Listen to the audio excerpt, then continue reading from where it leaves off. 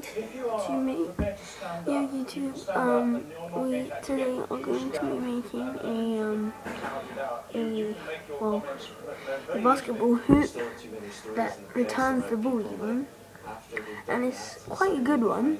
It's quite cool. So yeah follow these steps and let's get to it so you're gonna need to do is I'm gonna need to recycle a second. To need to fold one of the flaps and as you can see there how I'm doing there you're going to cut that out and you're going to draw a top there and then let's do that next.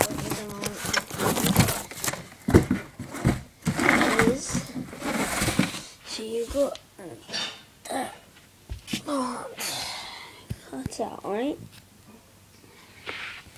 Okay See, alright,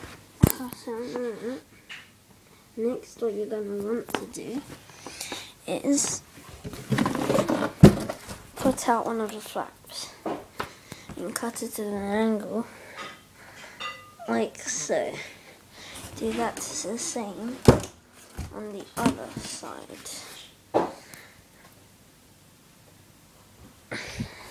So now, uh, like this. Okay. Next, what you're gonna want to do, yeah, is um.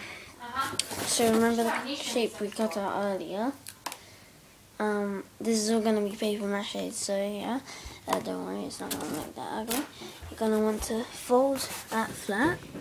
Ej, molim te, sad ne možeš na E1. Ne možeš na E1. Pređi preko And then, what you're going to want to do is you're going to want to sellotape that there to that, with the tongue to there, and that's to there.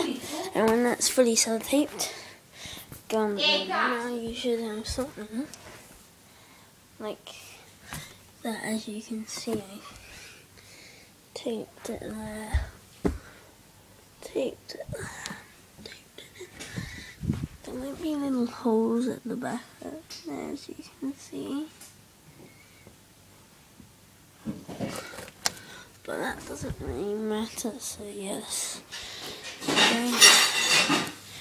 Okay.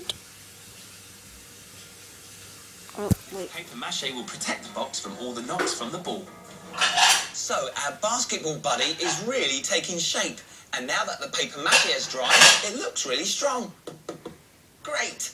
Now let's see if it can take some knocks. Perfect. But before we start playing, let's get your paints ready. Design your basketball buddy.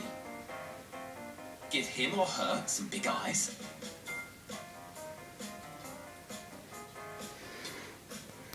And then some shiny pupils.